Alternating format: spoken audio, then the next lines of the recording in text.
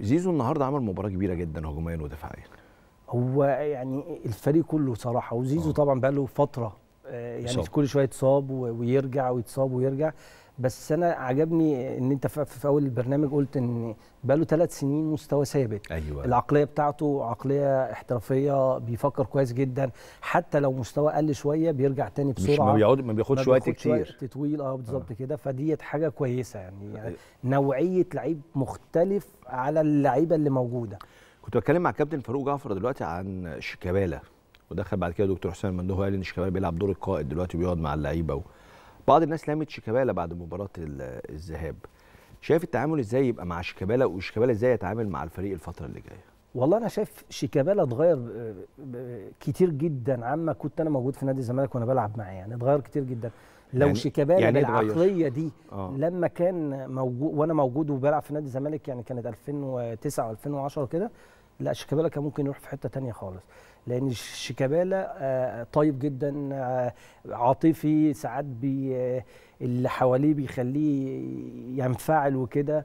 فلا أنا شيكابالا بقول بتمنى إن هو يفضل كده ويبقى مساند لعب ما لعبش يبقى هو المساند هو القائد بتاعهم لغاية ما ربنا يكرمه وياخد بطولة كويسة ويفكر في يعني أنا نفسي ما يعتزلش صراحة يعني لأني لما بتبعد لما أنت تبعد عن الملعب بتحس إن أنت يعني الموضوع بيبقى صعب أنت فاهم بس هو يلعب أنا عايزه يلعب في نادي الزمالك وهو يلعب لأن عنده السرعة والقوة والمهارة لغاية دلوقتي أنا حاسس إن هو ما اختلفش عن لما كنت بلعب معاه يعني آه اللي هو ما اتغير يعني حتى لا. مع تقدم العمر ما فيش لا ما ما مش. أنا مش حاسس بالأمور دي طب لو أنت مدرب لنادي الزمالك تبدأ بشيكابالا أساسي ولا تستخدمه في أوقات أخيرة لا في؟ أستخدمه آه. يعني استخدمه في أوقات آه، معينة والعبه في ماتشات آه، أنزله فيها وفي أوقات ماتشات كبيرة ألع- يعني أنزله يعني مش الشوط الثاني كده على طول يعني. عواد النهارده عمل مباراة كبيرة وسط مطالبات كثيرة إنه الزمالك محتاج حراس مرمى وعواد وصبحي يمشوا ويبقى في حراس جداد.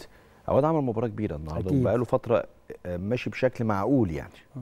رأيك إيه؟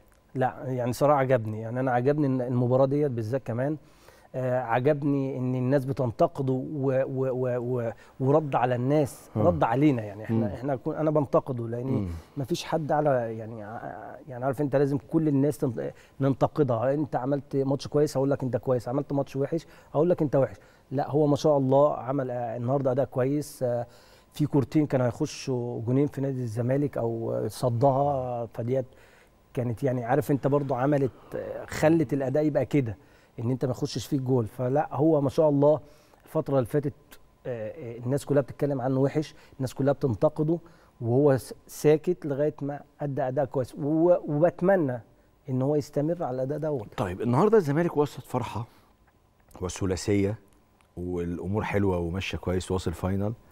مصطفى شلبي راح احتفل بطريقة ما. وأنا قلت في المقدمة لو أنت سمعتني أنا مش هقدر أخش في النوايا. فيعني هو وارد تكون حركة سيئة وارد يكون حركة مش مقصودة. وسألت الدكتور حسام المندوه وقال لي هنشوف طبعا الأمر ولو في خطأ هنعاقب وهيبقى في آه، حاجة. أنا بس بسألك أنت راجل بقى أنت خبير يعني أنت لعيب كبير يعني. ليه اللعيبة بقت بتحتفل كده؟ يعني ليه. تحتفل الاحتفال اللي هو إيه؟ يحمل معنيين. معنيين. يعني لو أنا قلت مثلا دلوقتي قلت لك مصطفى شلبي النهارده عمل كارثة الناس تطلع تقول لي أنت دخلت في نوايا؟ طب لو قلت إن هو ما عملش كارثة هيقول لي هو أنت بت بتطبله يعني عارف أنت أنت بتحطنا كلنا وبتحط نفسك في مكانة مش صح. هو أنا مش عارف يعني يعني هو آه، اللعيبة عايزة إيه؟ آه. أنتوا عايزين يعني أنتوا وحشين وبتلعبوا في أندية كبيرة والناس كلها ما تتكلمش عنك إن أنت وحش؟ انت لما بتلعب كويس كل الناس بتقول ان انت لعيب كويس. اما بتلعب وحش لازم كل الناس تنتقدك. إيه المشكلة؟ ما هو انت لازم تعمل لنا بصبعك كده وتروح تعمل لنا مش عارف لمين يعني؟ هتعمل لمين يعني؟ هنفضل نتكلم عليك لو انت وحش هنقول لك انت وحش. لما تجيب جول وتبقى لعيب كويس هنبقى فرحانة فرحانين لك. هو إحنا في ما بيننا وما بينك حاجة؟ يعني معلش يعني أنا أنا في حاجات مضايقاني في موضوع اللعيبة في الاحتفالات. واحد يعمل حركة كذا وده كده. يعمل حركة كذا. آه. أنتوا إيه يعني مش فاهم يعني أنتوا بتنتقدوا أساسا لعيبة لعبت أو بتتكلم عليكم لعيبة لعبت وعندها تاريخ كبير يعني. آه. يعني معلش أنا لما أجي أنت- أنتقد مثلا آه، عبد المنعم ولا شلبي. ولا أنتقد أي لعيب أنا لعبت لعبت أهلي وزمالك لعبت منتخب مصر خدت بطولات عندي بطولات كتير قوي. يعني أنتوا لسه يعني بالقلم الرصاص آه. مع احترامي ليهم يعني كلهم. آه. أنتوا لسه بت- بتبنوا اسمكم. آه. ممكن حد يجي له إصابة يقعد في البيت.